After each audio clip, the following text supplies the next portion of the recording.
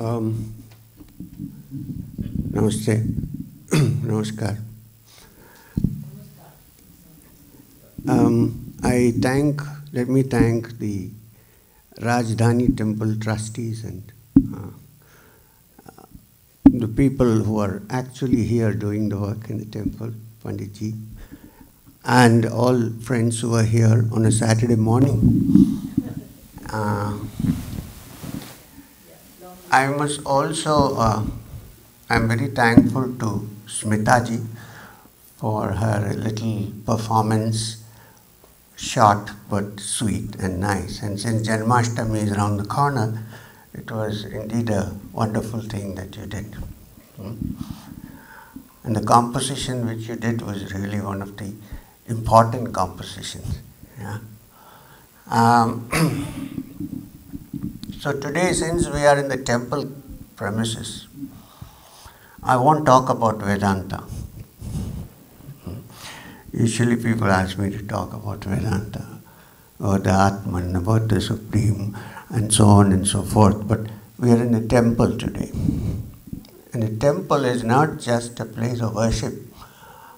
Like a temple is a place where knowledge is also distributed.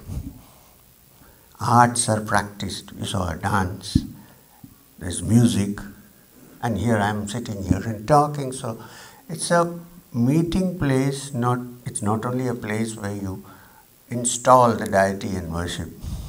It's also a place where uh, people gather together and share their thoughts and experiences, especially on how to evolve, how to grow, how to move forward.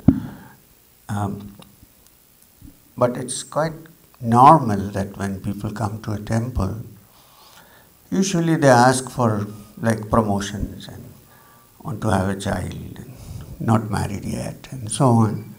It's quite common because human beings have their own uh, limitations and conditions. Can't say anything about that.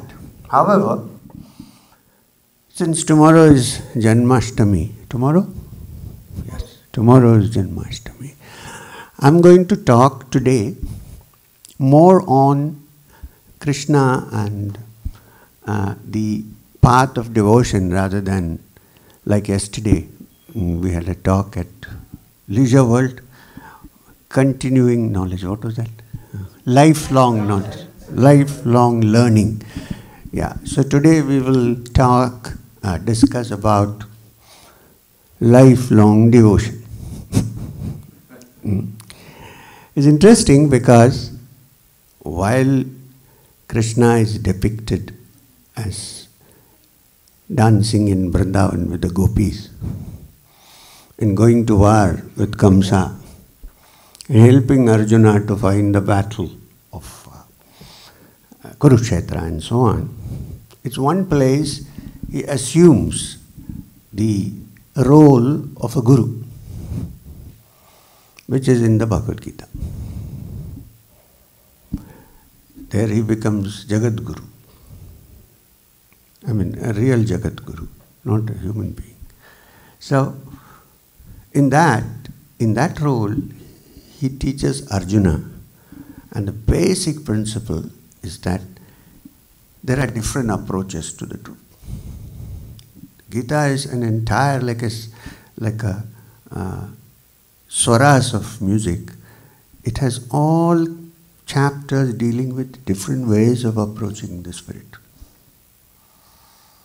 Starting with Arjuna Vishada Yoga, which I think is the level in which most people are. Uh, Gita, the chapter on Arjuna's confusion, uh, insecurity, sorrow, and so on. From there, gently he leads Arjuna up to knowledge, to Sankhya, to karma. So each chapter, Vyasa notes at the end of each chapter that it's a yoga. Then in the twelfth, you come to bhakti, devotion. And then you go on and on.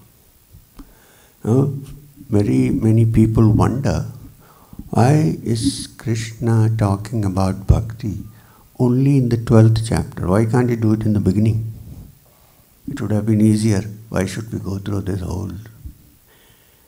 If you look carefully, you will notice that if Krishna had probably talked about devotion in the first chapter, Arjuna would have said, Hey, this is boring, let's do something else. Or teach me how to get out of sorrow first. I'm in trouble. So he leads him gently. So wait, wait till the 12th chapter because up to, you will notice, up to the 9th chapter, Arjuna and Krishna seem to be on equal terms, talking to each other like friends. Somebody is riding the chariot, someone is controlling the reins, and they are good friends and they are also relatives in a way, on equal terms. Krishna says something, Arjuna asks questions. And then, in the ninth chapter, Krishna changes his note and starts talking something which Arjuna cannot understand. He suddenly says, Among the Munis, I am Kapila. Among the immovables, Achalas, I am the Himachala. Among the uh, mountains, I am Meru. Among the Vedas, I am Samaveda. So for a second, Arjuna is completely confused, taken aback. This was a guy who was sitting and talking to me all this time. I was asking questions. Sometimes he said, Do this, and I said, I can't do it. Can you help me out? And so on. And suddenly he says, I am the Meru, and I am the Himachala, and I am Samaveda. What is this happening here? Which means what? It's in the ninth chapter, sorry, in the tenth chapter, that Arjuna's so called sure shot rational mind is being broken. So till then everything was 1 plus 1 is equal to 2. Here things are changing and Arjuna is beginning, what is this guy saying? He was sitting with me till now. So what's happening is very slowly the, the little, we call this what we all say, oh, I have a very rational mind. You know, I have my own rational framework, which is good. I understand. But that infinite, which represents Krishna here, cannot be found with that finite little mind. And that, what we call rational, is very limited. I w- I won't go into Vedanta, I promise, but I couldn't help saying a few things. So, what happened here is that he's breaking down his theory about things.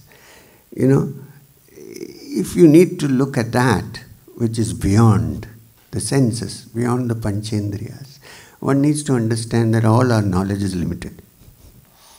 Now here is breaking out into saying things which shakes up Arjuna's so-called logical mind and he begins to wonder what he saying now. Starting. Then in the 11th chapter, there is something called Vishwarupa Darshana, which shocks Arjuna out of his wits. He sees there is this man who was sitting in front of him, this Devaki's little boy, has suddenly transformed into something, a tremendous energy, like a black hole going in and out. And then his so called judgment and reasoning, which is dependent on the five senses, is broken. He says, I cannot understand. I think I cannot understand.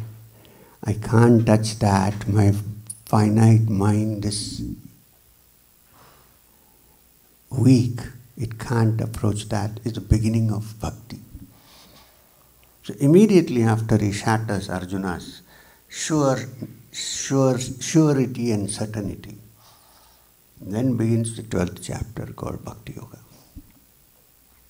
It's interesting because people say if the Supreme Being is uh, all pervading Brahman and if it's also in our hearts as a spark, why do we worship? Usual question. The reason is given in the 12th chapter when Krishna tells Arjuna that while you can conceive of the Supreme Being as the formless Almighty and so on, human minds are very attached to name and form, and therefore it's easier to link with that Supreme Being while depending on name and form. And if it is the Supreme Being, then it must be everywhere. So why not in a temple? You can say, why not outside? Okay, fine, that's, that's exactly what is okay if you want to do that. But it's also here in the name and form. And human beings are naturally inclined to name and form. We all like our name and form, at least our own form, don't we? Morning before coming here, how many of you look, didn't look at the mirror and see how the hairstyle is?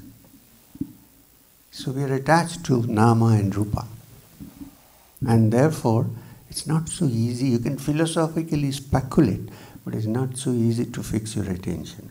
So, if you have something which you can actually do with your hands, alankara, ringing of the bells, showing of the lights, beautifully decorated, then what happens? The mind, which is naturally attuned to name and form, attaches itself to it.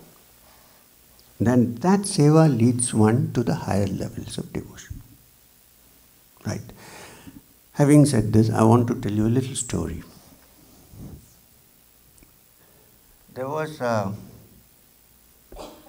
another, uh, you have a long nose, Sindur falls. Um,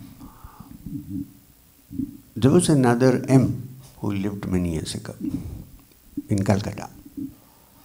He wrote a book called The Gospel of Ramakrishna. And he was a headmaster in a school, so he could visit Ramakrishna only on Sundays. But in the beginning, he didn't want to see this man at all. So once, apparently, he had a problem which we all married people know. I'm a married man myself. He fought with his wife. And then he decided, and some of his friends told him, if you want a little bit of peace of mind, go to the garden of Dakshineshwar, Rani Rasmani. It's a beautiful place. It's on the banks of the Hooghly River, which the Bengalis call the Ganga. And uh, if you're lucky, you might meet a Paramahamsa there. So, even otherwise, it's okay. So he set out on a horse cart, horse buggy. Halfway through, he thought, I'm not going to Dakshineshwar. He didn't like that Paramahamsa business. So he said, uh, he was from the Brahmo Samaj. Those days, all the youth of Bengal were part of the Brahmo Samaj. So he thought, I'll go somewhere else. But what happened was, when the horse cart reached the front of the Dakshineshwar gardens, the axle broke. So he had to get down.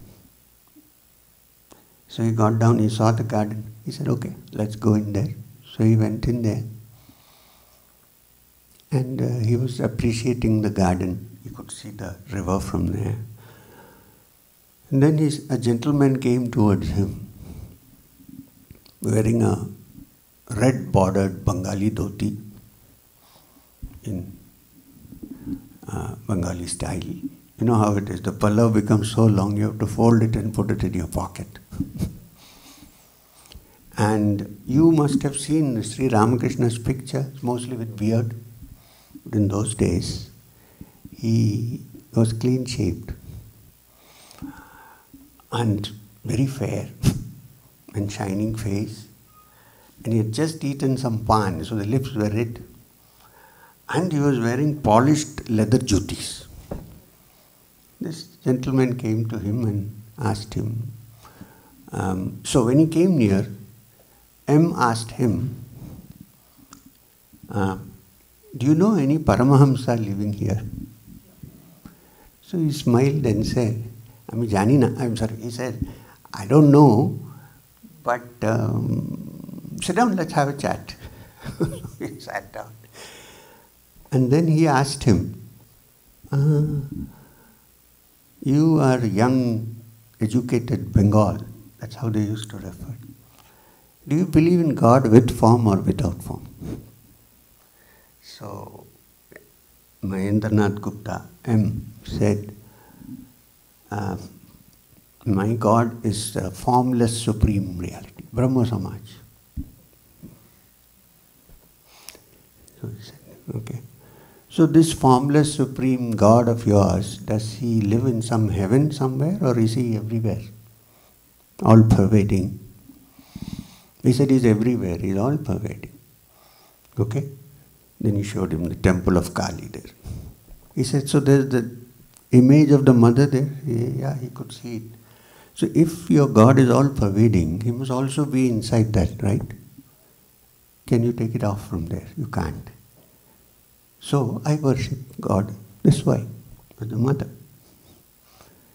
M was stunned because he was a professor and nobody had talked to him in those, on these terms. So then what happened? Not the end of the story. Uh, he left saying that I won't come back here. What should I do with this man? He left. Then on a Sunday, Sri Ramakrishna was sitting and having, cracking jokes and laughing with the boys who surrounded him. One of the boys became Swami Vivekananda, somebody became Brahmananda, and so on. Those days there were young boys sitting in the room. If you go to Dakshineshwar, you can see the room where they sat. The temple gate is on the right side. People used to blame him, saying that this guy is not teaching anything, he's just joking with them, giving them rasgullas. What is it teaching? Spoiling the youth. Anyway, so they were sitting and talking, and there everybody referred to him as Thakur. So Thakur started telling them a story about a peacock who went to a temple and the priest mixed opium in the food. Mm. So the peacock drank it. And then every day at the same time, peacock used to come because of the opium to take well, addiction. Good addiction. So he said that, and uh, then he said, Ah, the peacock is going to come now. So they thought? Sometimes he said crazy things, so they just dismissed it. Chalo. Which peacock? There was no peacock there. In 10 minutes, Mahendranath Gupta entered. And Thakur said in a whisper to Narendra, The peacock has come. uh, so then you know what happened afterwards. He became, he could go only on Sundays. So all the description in the Gospel of Ramakrishna is what he noted down on Sundays. And then Sri Ramakrishna approved him as the scribe. Because when another disciple of his, Swami Akhandananda, who was the youngest, started imitating him and taking notes, he said, throw it into the Ganga. You're not writing. But he was allowed to write. That is the M who lived a hundred years ago. So anyway, so when you have a form and a name, there's something important because it's not so easy to fix your attention on abstract Vedanta and say, oh, Krishna is also the supreme being because he says so in the Gita. I'm saying this because you have a temple here, you come here, you listen. If there was no hall in the temple, how would I speak to you? The knowledge is distributed. The knowledge centers as well as centers of devotion. This we should note.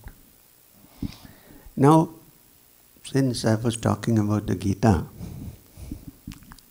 you know, the Bhagavad Gita is called a Gitam. Bhagavad Gitam, song of the Lord. It's not prose. It's not prose. At some point, I want to make a ballet where the Bhagavad Gita is sung and somebody like this young lady, Smita, will dance. No, I mean, somebody. It's so beautiful. So it's a song. You don't uh, speak the Gita, it's a song. Now, when you say song, you can't express certain things in prose. Especially, why do people write love poems? Because it's easier to express in poems with music and so on rather than reading dry language. Doing an essay. Poetic license is there. So you will see that exquisite poetry is usually when there is love, affection, there is exquisite poetry, so it's a song. And this song is even more important because things which can't be conveyed through prose can be conveyed through song. Let me explain this to you a little more. First of all, we'll come to this instrument from which this music comes later. But let me explain this to you. All of us, I can't help going to a little bit of Vedanta. All of us think, right? I think we think. The greatest problem is not to think. We all think. And we all think, if you look carefully, in some language. You don't think without a language. Just try. There will be some language which connects your thought. Of course, there is something thought without a language. We can't, we'll discuss that little later. But normally, all thinking is with with a language. Even if you say, I'm not thinking with a language, you're thinking with a language. English now. I sometimes think in Malayalam or Hindi or Sanskrit in that matter, for that matter. So, there is a language. Now, there is one thing which does not have a language and therefore have, has no boundaries, and that is music. If you hear the flute, whether it plays outside the temple or in Vrindavan, you don't need a language. You may be belonging to any language speaking area, but you will listen to it and you will enjoy it. It doesn't need words. Western music, there is beautiful music like Beethoven, Mozart. You don't need a language, you don't need words, you listen to it. Everybody enjoys it. So, therefore, language, I'm sorry, music is a link between you, your mind, and that which cannot be measured by language. The Kena Upanishad says, Yad vachana bhyutitam minavaga bhyutyate, that which even words cannot describe, but music can describe. Sound can describe. And the greatest music and the most important sound is the sound of the pranava which is Om. And that again is a link between you and that which is beyond your limited personality, which is Krishna or God, whatever you want to call it. So, and just look at this carefully. Krishna takes the flute and plays. Okay. We are fascinated. Gopis don't know where they are standing. They're looking up and down. They're not aware of their clothes. And can you make music if the flute was solid? Suppose you take a flute and fill it with muck, mud. Can you play on it? Can you? No. So the instrument for the music to come through, even if he's trying hard to play it, has to be clear of ego and empty and khali. if this happens, if the mind or the flute is emptied of all dross and all the pretensions and prejudices that have gone into it, greed, anger, everything out, then you have an instrument through which the Lord can play. You have to offer it clean. And from our point of view, which is from the yogic point. I come from the Nath Sampradaya. People have a misunderstanding that Nath Sampradaya believe only in Shiva or something. Not like that. We believe that Govinda, or the Supreme Being, picks up the flute and plays, which is our Shushumna Nadi, when it is absolutely clean and the music comes through the seven holes, which are the seven chakras in the system. That's our understanding. You don't have to believe it. You can say it's playing in Vrindavan and listening. But if you're really listening like a gopi, then you have no selfishness at all and you enjoy the music. So, therefore, having said this much, I'm not going to tell you a little short, small stories. This young man will enjoy stories, but you'll think that I'm grown up, so all these are stories. But please listen to them like stories, okay? Uh, uh, Sherlock Holmes is a novel. Don't you enjoy it? Okay. Harry Potter is a novel. So, this is first consider it a story and then see what it means. This is a story about how, you know, Krishna goes off to Dwarka and he's staying with Satyabhama and his other wives. But they do full service to him. Every 15 minutes, every 5 minutes, they're looking after him. And yet, when he sleeps, in his dream, he keeps saying gopis, Radha. So Satyabhama is a little bit irritated. What is this? He's looking after me, still thinking of those gopis, the cowherd girls in Vrindavan. What's the matter with this guy? You know, it happens. So, Krishna decides, you know, in this whole drama, Krishna, who is considered to be a Purna avatar, does all kinds of antics, which is nice. Yeah? He uh, pretends to have a terrible stomach ache. All the Vaidyas come and check him up. And they say that no cure. Then Narada comes, you know, when Narada comes, you know, you know what happens. Eh, it's a wonderful figure in, in the epics. Narayana, Narayana he comes with his veena and pretends to be a great physician also. So he takes his pulse and all. He asks Krishna, so what to do now? I'm asking you. because your disease you know how to cure. I don't know. It's yours. So what do I do? He says, very simple. I already said what to do and nobody is willing to do it. He said, what? I need the dust of somebody's feet and nobody is willing to give it to me. Can you imagine giving the dust of your feet to God or to your husband? You'll go to hell hundred times. So neither Satyabhama nor Rukmini nor anybody is ready to do this. So he says, if you can find some, then I th- my stomach ache will go. Otherwise, there is no way out.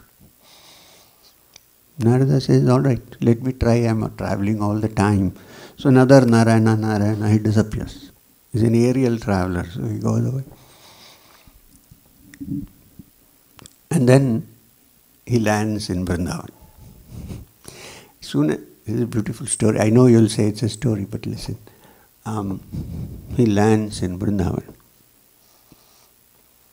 And uh, the gopis saw him, so they come running to him. They say, Narada, uh, where are you coming from? He says, I'm coming from Dwarka. I said, Dwarka? So what is our little fellow doing Krishna there? What's he doing? We are kind of lost and dry here. There is nothing in our hearts now. Gone. He's gone off, stolen our hearts and run off to the Dwarka. What's he doing?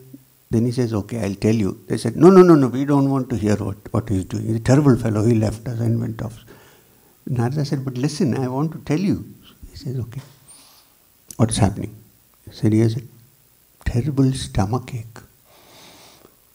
And so they get very worried. No medicine to cure him. He said, Yeah, there is a medicine. Nobody would be willing to do that.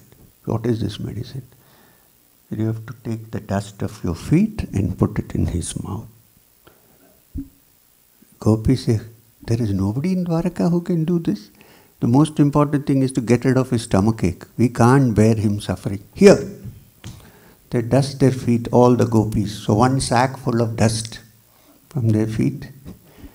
Narada takes it on his back and flies back to, he doesn't have to pass immigration. So he flies back into Dwarka. and then uh, he empties the sack and says, Here I brought it.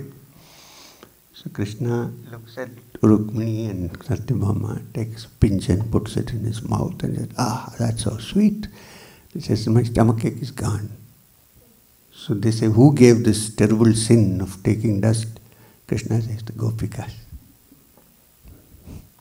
You know what it means? I think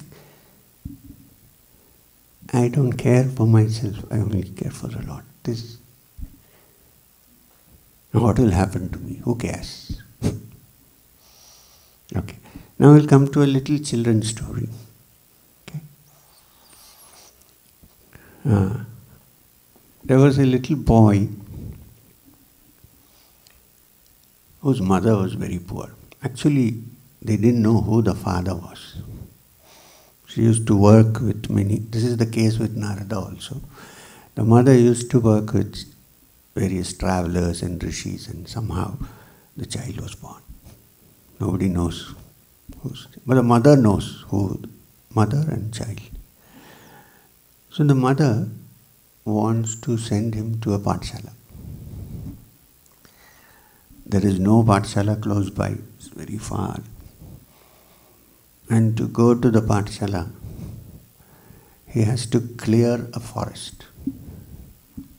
Very thick forest, wild animals. But the mother says, just because I am poor, I am not going to not educate my son. He has to go. So one day she takes him to the forest, meets the teacher, Acharya, and says, he says, okay, I'll take him for free. So uh, he's admitted. Now the problem is, every day he has to cross the forest. So his mother says to him, so he says, Mama, today I have to go to the teacher, but you're not coming, I'm alone. What will happen to me? There are wild animals, I heard them the other day. So the mother says to him, just to make him confident and not be afraid. Actually, she doesn't know, but she just says, you know, in the forest, we tell such stories to kids, right? That's why it's always good to say positive stories to kids. Don't talk to them about ghosts. Poor fellows will be frightened all their lives, even after they grow up. So, she said, um, in the forest, in the deep forest, there's a little boy who lives there, same size as you, a little bit dark. You know the Sanskrit word for dark?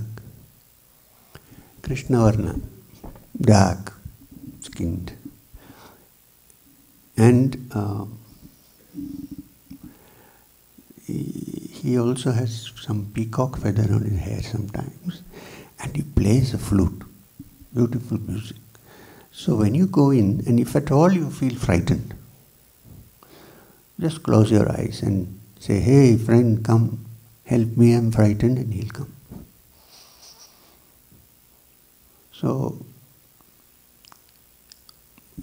the boy says, Okay. Does he have a name?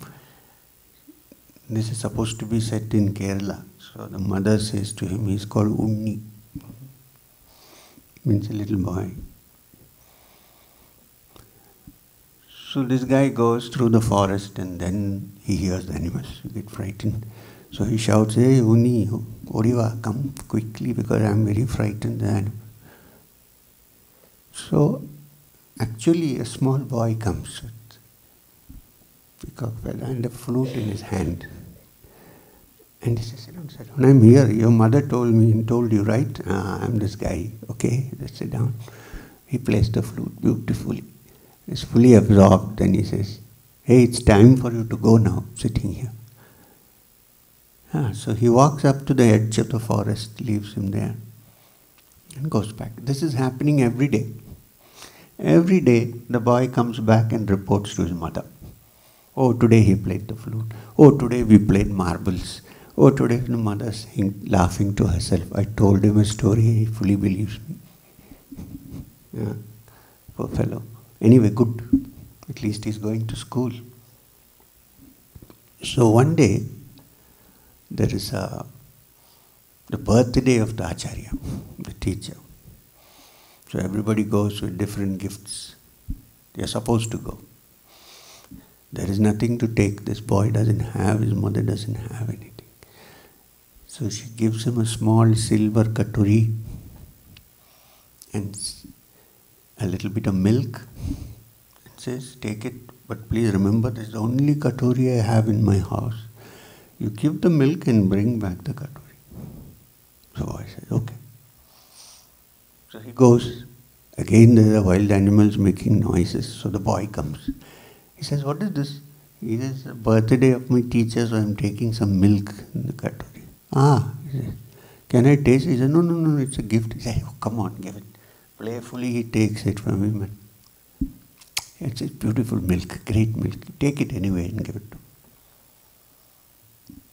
So they cross the forest. And then he leaves him and comes away. Boy goes there, big line of people giving big, big gifts and presents. There's only this little katori, and that also he has to get the katori back. So all his students, co-students, making fun of him. Uh, oh, he wants the katori back. Wow. So the master says, okay, doesn't matter, go get a bucket from there. So they bring a bucket. Okay, you will say it's a story. Fine. He pours the milk into it and says, Take your katori. Boy says, But there is some milk here still. Oh, okay, pour it. Goes on till the whole bucket is full and there is still milk in the katori. So the teacher gets very suspicious. The Acharya says, What is this? Do you know magic? Does your mother know Indrajal or something? He says, No, I don't know anything. I, said, no, no, but something has happened. Can you tell us what? From the time you brought it till here, something must have. He said, Nothing very significant. Yeah, yeah, yeah. One, my friend, a little fellow who lives in the forest, the dark guy, he tried to sip this milk. That I know. Teacher gets very angry. Why did you allow? And then you're giving it to me. He said, But I don't know. He just snatched it from me. And, and I think something he did because I don't know why this milk is not stopping. So the teacher laughs and says, This fellow is a liar. He's just lying. There's something is wrong here. There is no such boy there in the forest. There's nothing. He's just lying. He says, Okay, can you take me there? We said, Sure, innocently, I'll take you there. So he brings the teacher to the forest with all the disciples following. We go there and he shouts, Hey, Unni, come, come. My teacher has come to see you. Come. No sound, total silence. No boy, no Krishna, no nothing. No flute. He gets very desperate. He said, They're calling, they're calling me a liar, please come. Then there is a voice that comes from the sky. Akashvani says, These fellows are not ready to see me. You are ready to see me. You are so innocent, so clear of mind. So you saw me. These fellows, they can't see me. They'll see me when they become clear. And they go home. And you'll say this the first one is a story, the second one is a story. Bhagavatam, have you read the Bhagavad? It's full of stories. And the great truths of Vedanta are revealed in simple stories. Because storytelling and listening to stories affects the mind more than talking rubbish all the time. okay. Having said this, I want to tell you another story. Now, this story is, uh, all this is because of Janmashtami. Now, this story is a little serious, and the character here who does this, please don't imitate, imitate her, because it's not possible for most people to do it. We should know our limits, where we stand. It's better to tell Krishna, oh, give me this, give me that, instead of saying, I don't want anything. Because if the rug is pulled under the feet, then we'll get desperate. So, the Kurukshetra war is over. Krishna is going back to Dwarka. he has to say goodbye to everybody. He's a decent man. So people of his own age, he goes and hugs. People who are elder to him, he does pranams. It's difficult for ordinary people like us to do pranams. Huh? Krishna doing pranams, can you believe this? So to the elders he does pranams. And then he's going. So the who's the patriarch of the family? The most senior lady in the family, Kunti Devi. She goes to Kunti Devi to do pranams. So then he says to Kunti, Look, I'm going to Dwarka. this is the right time. If you need any boon from me, any blessing from me, the right time to ask because I'll go away to Dwarka now. You won't find me. So if you have anything in mind, please ask me now. I promise to fulfill your wishes. Kunti Devi, it's a very interesting dialogue. Kunti says to Krishna, Can you stop this drama for a second, please? I know you so well. You're saying I'm going to Dwarka, you go nowhere. You're here, there, everywhere. You're saying I'm going to Dwarka. You started the war, in a way. Then you joined our side and we won. And now you're saying, I don't know anything, you people fought. And now you're saying, I'm going to Dwarka, you're going nowhere. I know you. So please stop this drama. And you said, I know who you are. And you said, ask for a boon and I'll give it to you. Okay, I'm going to ask you for a boon. You have to give it. You promised. I said, yeah. Okay, this is the boon. Bring all the sorrows of the world on my head. This is the boon. How many people can? Don't do it also. It's not possible unless one is what is soaked in what is called parabhakti, it's not possible. Because we are always asking for good things, for pleasure. Here says Kunti, bring all the sorrows of the world on my head. Even Krishna is taken aback. What is this kind of boon? She says, because it's only when there is sorrow that people usually think of God. Guru Granth Sahib of the. Dukh mein sab kare, sukh kare na koi. You might light a lamp, that's okay. But really earning call from the heart is when one is in trouble. So if the sorrows of the world keep coming on me, I keep calling you. And I have a guarantee that if I call, you'll appear. This I have no doubt. What more do I need? I'll be constantly seeing you. Why? Because sorrow will come. I'll call you, you'll come. Again a sorrow, again I'll call again. What more do I need? To see you means to be free of all sorrow. This is exactly what I want. Can you give it to me? Krishna says, Tathastu, so be it. This is the highest level of devotion but the only thing you want is the Lord and nothing else. If this becomes the height of devotion, it's not different from Vedanta, where all that the yogi aspirant desires is the supreme reality, nothing else. Everything else is illusion for him. There's not much difference except in the approach. And the most important thing is that instrument from which the music of the Lord come should be emptied and cleared, mostly of the ego that we carry. So now I'm going to tell you another story. This is the last, okay? Uh, after this, we'll stop, and if you need to have a discussion about something, we can do it. Um,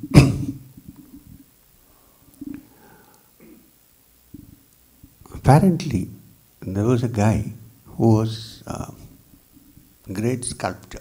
You know what is sculpture? One who makes sculptures, great expert. This was told to me by an elderly head of a Lingayat Mutt in Karnataka, Shivacharya Swami. Um, so this guy um, went to a temple. He was summoned by the priest to make a deity. So he went there. The priest told him, I think, according to some calculations, in three months you're going to die.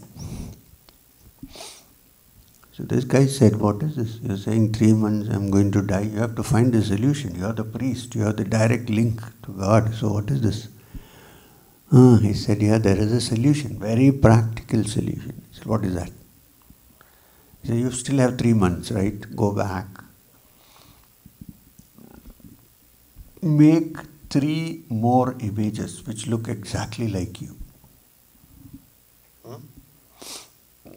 You're such a good sculpture. Make three images which are your size, exactly like you. You go and stand in the middle somewhere. Now, you know the mythology, the, the epics say that Yamadeva sends his uh, dutas to get the soul when the time comes. So he said, the priest said, these dutas of Yama, they come on a buffalo, they're a little bit weak minded. So if you stand in the middle of all these three more which you have made, duplicates, they cannot figure out which is original and which is duplicate. They're stupid fellows. So they will wait for some time and then the muhurta will pass and then they will go away. do that. He said, okay. So he made three images of himself and went and stood in the middle. And the Yamadutas came interesting for children if I describe the uh, Yamadutas, but we leave it there. So I came and they wanted to take his soul. They looked around, there were four. They couldn't make out which is original, it's so beautiful. So they looked around. Muhurta passed, they went back. Saved. They went to Yamadeva and said, Boss. And they didn't say boss, I'm saying. Uh, what to do. This guy is so clever. He made images and stood in the middle and we couldn't find out who is who. So we came back. Yamadeva said, I always knew you fellows are idiots, but it doesn't matter. Next time, in another three months, he's go- same thing is going to happen. He's going to die. But they said, but then he'll do the same thing and we can't make out. He said, before going, I'll whisper a mantra in your ears. Okay? Then you go. Then you'll find him. He said, okay. Three months passed. The priest said, Again, your time is coming. He did the same thing. He went and stood. He didn't have to make because already done. Yamadutas were going to pick him up. They asked the boss, Now what? Boss whispered something into their ears. Ah, okay. So they came. You know what they did? They simply came, stood in front, and started praising the statues which were there. So they look so real. Can't make out which is duplicate and which is original. The skin looks so much like skin. The hair is human hair, really. And when I keep my hand on, when we keep our hand under the nose, it is as if it is breathing. What a wonderful thing. About two, three minutes he kept quiet. Then he couldn't control himself. He said, Oh, I made it, you know. And then they said, Come. Let's go, your time is up. so that is the biggest problem. If that is taken out, then you can get the beautiful music of the Geetam coming through the flute so that you enjoy every second of your life. It's not as if it comes and goes. Om Shanti Shanti Shanti. I should have said Om Ananda Ananda. So that's it. I think it's enough. We got all the things. If you need to ask me something, Don't ask me how where to get the flute. What do you then uh, we can discuss. Mr. Subbareddy.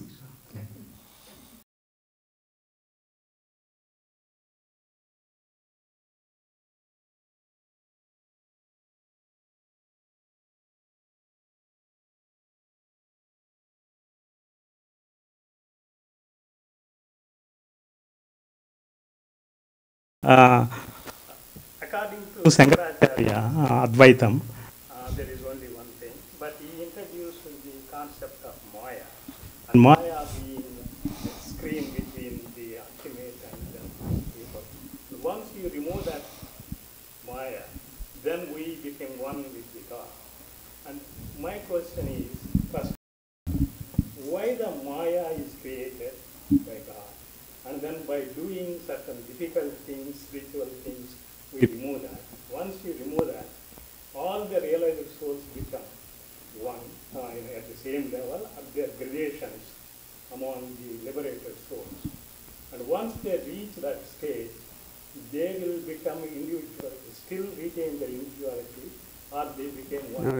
have many questions.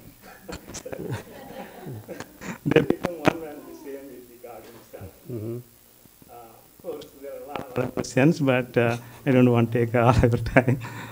So, Okay. thanks. Now, what is the crucial uh, part of Shankaracharya's statement?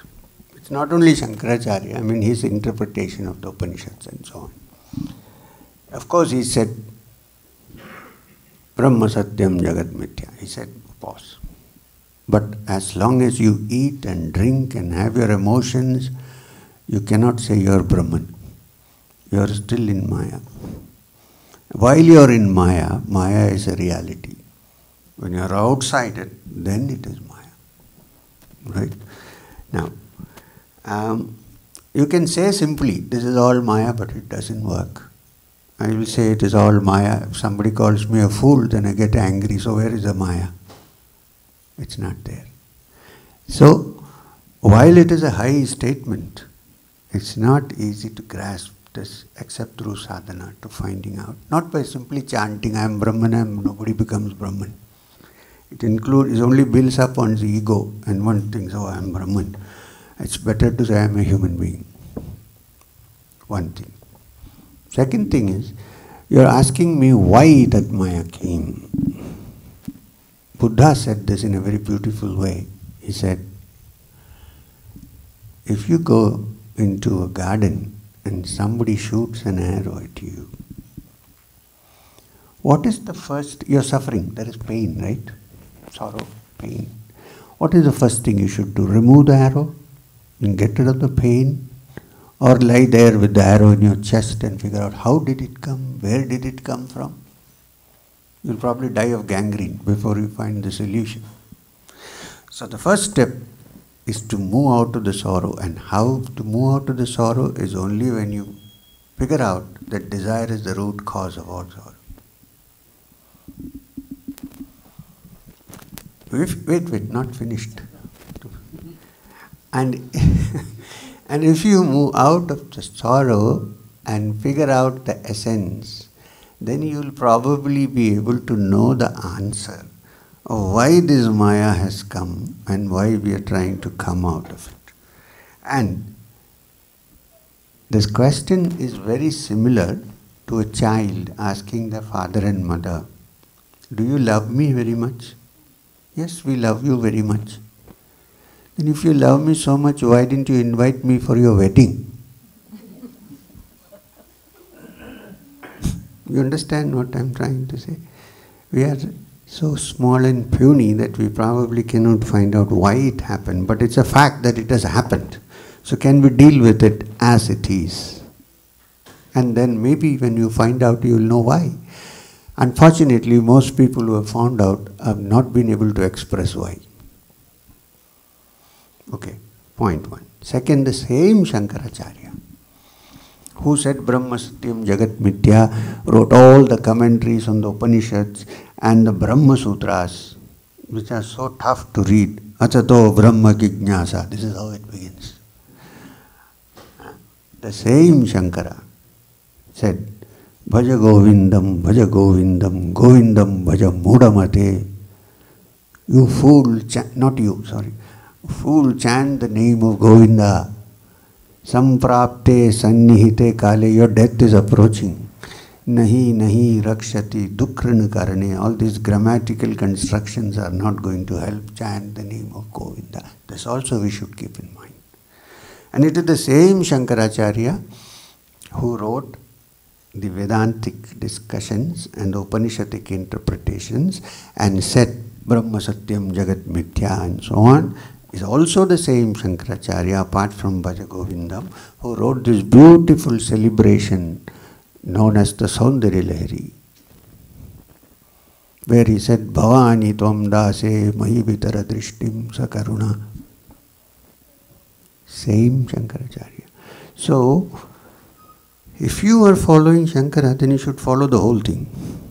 You can't only dis- divide it and follow only one. If you follow one also, it is okay, but you must admit that the other fellow might be following the other side. Then we are okay. I think so. Sir, he had some question. He was immediately taking the mic even before Mr. Reddy finished. um, thank you so much for. for What's your name? Uh, Badri Khanal, I am from Nepal. Badrinath. Badrinath. Mm. So thank you for your And presence. where are you from? Badrinath? Uh, Nepal. Nepal. Nepal. So uh, my question is a little bit of uh, related to technology, Technology. and then your your physical presence right in front of us. I'm just trying to uh, compare your physical presence here with so many um, like uh, online resources like YouTube. I I call myself a little bit of a spiritual seeker. I'm trying to seek the Vedantic knowledge and all those stuffs. But unlike in the past where we had uh, like some scar of like Gurukul and you know we used to go to people used to go to in front of the gurus and spend years and years seeking the direct knowledge, interventions for vision from the guru. So we are very uh, unfortunate that we have to be happy with whatever we have from YouTubes and Googles and YouTube and YouTube. so I'm just trying because uh, in the last an hour or so, I was so impressed with uh, your teachings. It's not only because the content of the teaching, but your presence itself was so so powerful. I had some, I felt that way, right? So, is it the presence of the guru or the swamis that is important, or the knowledge of YouTube's? because I am in dilemma because there are so many YouTube I know, discourses and I- videos, I and that agree. is the only thing that I am left with, and I can't stop listening to those resources because I'm so addicted. Because that is how I want to spend my days and you know hours. So please uh, tell me what is my choice because I can't What is your- fly. What's your what? What is my choice? What are my options now? Because I can't. Sure. Right. So I don't have any, I don't know any gurus, any swamis. I can't fly to India to meet you and, you know, get your teachings. So, Thank you. clarified that there is not much choice for you.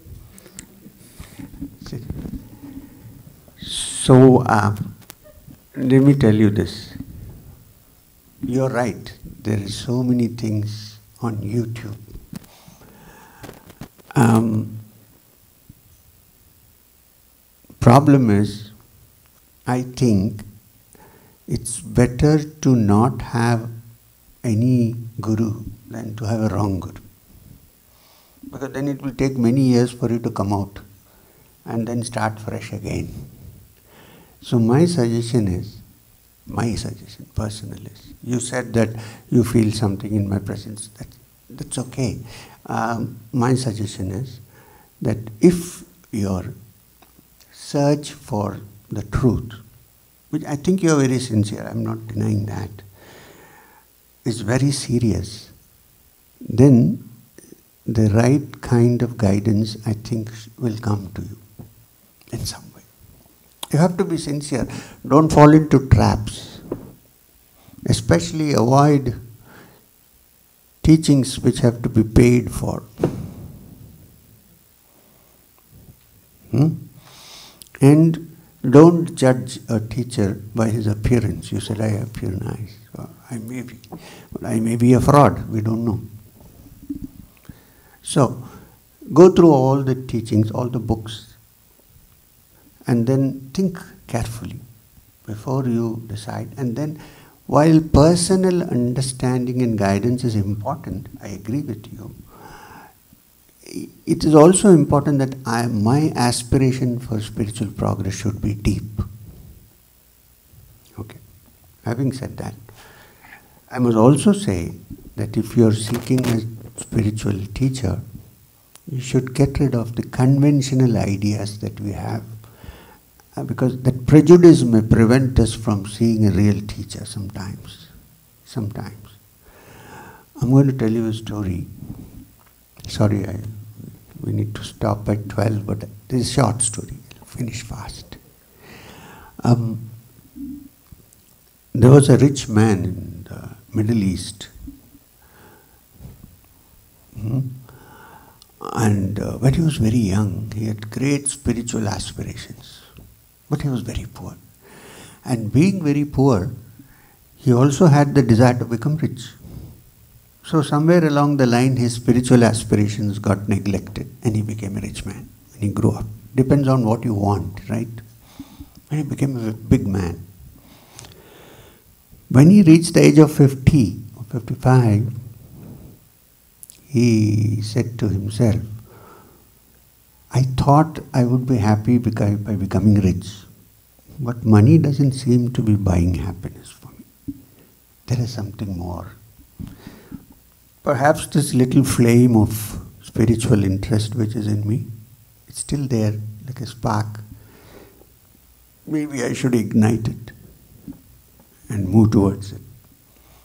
So he decided to distribute all his things to his sons and daughters and uh,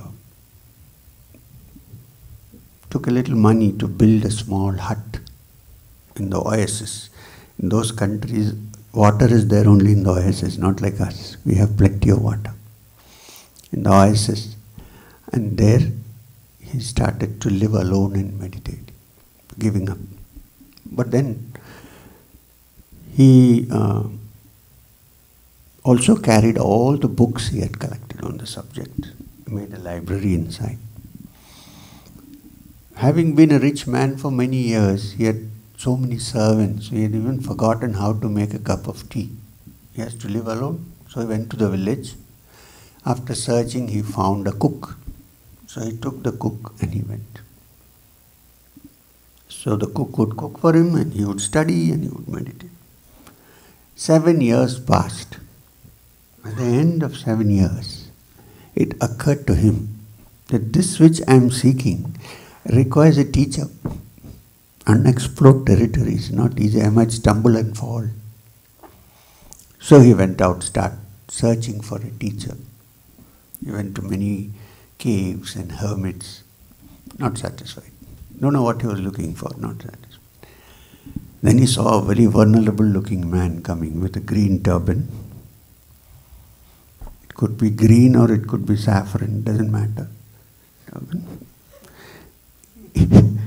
and uh, rosaries on the neck, and a big beard, so big that you could tuck it into the collar vulnerable looking guy. So he went to him with folded hands and said, Sir, you seem to be a great yogi. Can you become my guru? The guy said, How do you know that I am a great yogi? Huh? He said, I don't know, I think you are a great yogi. You look like that. I said, Okay. Looks are deceptive, but let me tell you something. You are a very sincere fellow, I think.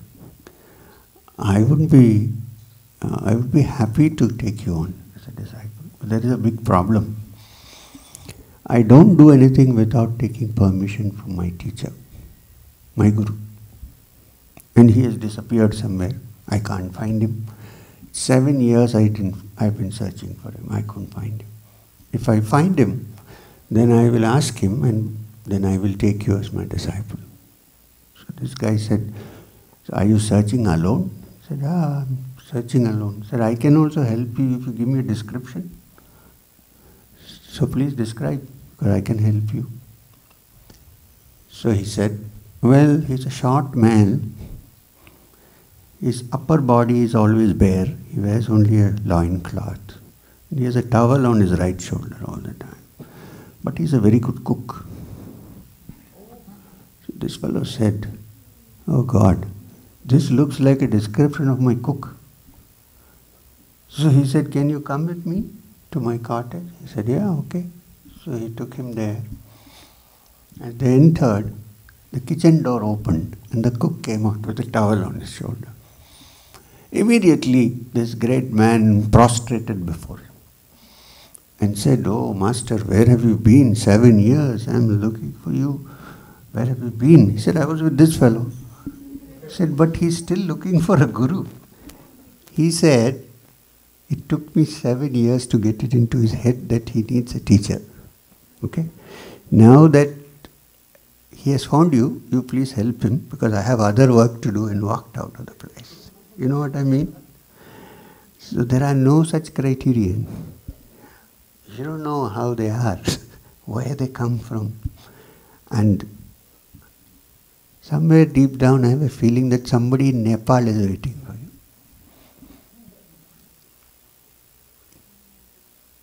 I'll shake your hands, but something will come from Nepal, I think, with the blessings of Pashupatinath. Huh? Let's see. I'm blessing.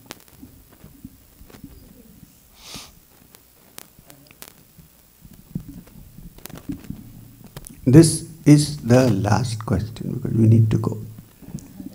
Ah, thank you. He asked me yesterday also. He said, I'll ask you tomorrow. And I have another question for yesterday, but I'm not going to ask that. Uh, today happens to be Krishnashtami, Krishna Janmashtami, and there's a lot of puja is going on all over. Yeah. Now, I've been asked many times, is puja really necessary? It's too, totally religious. I am uh, not religious, I am spiritual, so I don't need to do all those kinds of uh, papavitra, and all that. Is that really essential? That's my question. The question is very simple. I am a spiritually minded person. Is it necessary for me to do the ritual of actual puja? This is the question, precisely. If you really think you are spiritual and you see the presence of the divine everywhere, you probably don't have to do any puja. However, how many people are there like that? We can only count them in the fingers of our hand, perhaps even not. So, for most people, it's good to be engaged in doing. See, doing puja, doing seva, doing. You see, what happens is, like I said before, we are human beings who live through our senses. So, if you don't let the senses enjoy things like worship, they will try to enjoy something else. This is better than that. Okay. The other is, it also has a certain um, rhythm generated for the mind, which is usually rhythmless.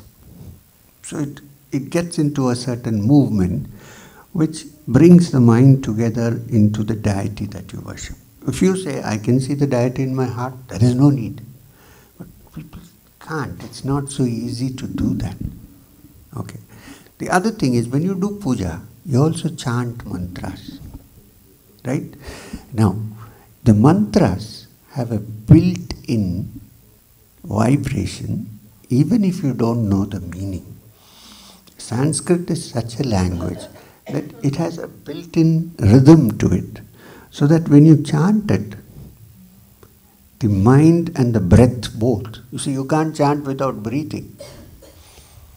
The mind and the breath both get into a certain um, rhythm, order. In fact, one of the mantras, Ritam Vadishyami.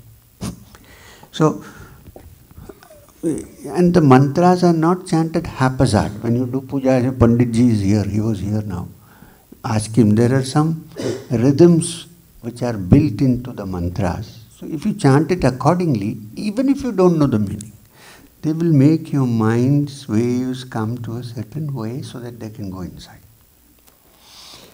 For instance, there are many mantras, Purnamada, Purnamidam, there is Asato, Masatgamaya, which, which is not even a prayer, it simply means, may I go from the unreal to the real. It's not even a prayer, it's an affirmation.